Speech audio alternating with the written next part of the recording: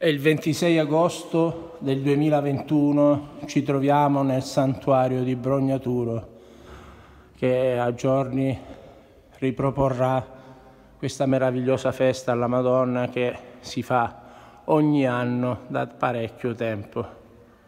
Questa sera i focari, poi ci saranno anche i giganti e da domani mattina alle quattro e mezza la banda eh, che passerà per tutto il paese, quindi anche domani mattina andrò a fare dei video. Guardate che meraviglia questa bellissima chiesa, guardate che bella, sa di profumato, di genuino, ma soprattutto sa di fede, perché la fede è non solo a Brognaturo, ma in molti paesi del mondo la fede è il pilastro la base di tutti i valori della nostra vita.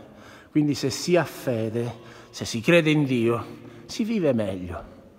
Guardate che meraviglia questa chiesa, piccola chiesa, ma alla fine eh, con tanti fedeli devoti. Vedete, questo è il quadro miracoloso della Madonna. Fra un po' inizieranno poi il giovedì prossimo le vedute, come ogni anno, lì in fondo e ci sarà un sacco di gente, ovviamente rispettando le regolamentazioni anti-Covid, ma eh, di fedeli ne vengono tantissimi qua, non solo in questa chiesa meravigliosa, ma anche a Brognaturo, che Brognaturo ha la festa più bella delle Serre Calabre, lo voglio dire. Poi i prognaturesi sono eh, persone molto accoglienti e ospitali perché basta entrare in paese e guardare la piazza che ha la forma di un grande abbraccio. I prognaturesi sono fatti così, ti accolgono sempre col sorriso e questo è veramente una cosa, un dettaglio particolare che a me è sempre piaciuto. Adesso saliamo sul sagrato per farvi vedere per la prima volta come cambia la visuale perché fino adesso quando venivo c'era sempre gente, non potevo venire dove sta il parroco, vedete? Guardate che meraviglia la chiesa, eh? bellissima. Guardate anche la luce che entra dalla porta, che è socchiusa. Se avessimo aperto tutta la porta eh, poteva sembrare un crocifisso, ma no, il crocifisso lo vediamo qui, guardate che meraviglia. Gesù che ha dato la vita per noi. Gesù che ha aperto le porte del paradiso, Gesù misericordioso che ci ama così tanto come nessuno mai ci potrebbe amare, perché Gesù è così misericordioso, ci ama così tanto che ci perdona sette volte sette. Quindi Gesù è un grande. Molta gente dovrebbe ispirarsi alla vita di Gesù, perché Gesù non giudica, Gesù ci lascia nel libero arbitrio, ci ama così tanto che ci dice fate quello che volete, ma io vi perdonerò sempre, perché siamo suoi figli tutti.